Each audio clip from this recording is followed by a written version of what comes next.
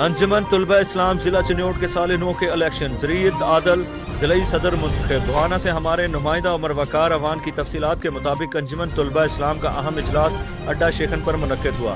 اجلاس کا آغاز تلاوت کلام الہی سے ہوا۔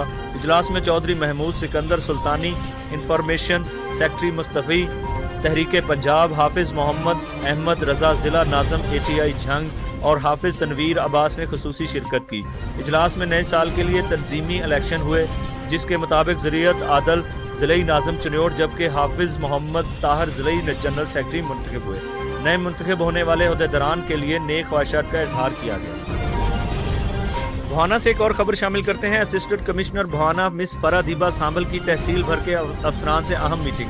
تفصیلات کے مطابق گزشتہ روز اے سی بھوانا مس فرا دیبا نے تحصیل بھوانا کے تمام افسران سے اہم میٹنگ کی اور مختلف محکموں کی کارکردگی کو سراہا۔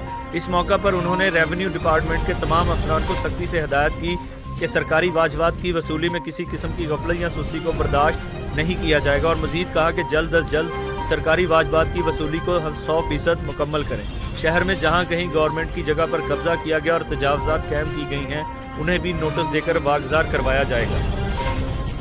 کسی صورت بھی کسانوں کا احتسال نہیں ہونے دوں گی۔ فرا دیبا سامبل تفصیلات کے مطابق اسسٹنٹ کمشنر بھوانا مس فرا دیبا سامبل نے تحصیل reporter bold Pakistan news Umar Waqar Awan سے گفتگو کرتے ہوئے بتایا کہ کسان ہماری معاشیت میں اہم کردار ادا کرتے ہیں، مگر پچھلے کچھ عرصہ سے ان کے ساتھ فصل کی قیمت کے حصول میں زیادتیاں ہو رہی ہیں۔ ان کا کہنا تھا کہ وہ تمام کسان جن کی گزشتہ برس کی گنے کی فصل کی قیمت تاحال انہیں نہیں ملی، وہ اے سی آفس بھوانا رابطہ کریں تاکہ انہیں سابقہ ادائیگی کروائی جا سکے۔ مزید انہوں نے کہا کہ اس حوالے سے ہم نے تشہیری مہم بھی چلوا رکھی ہے۔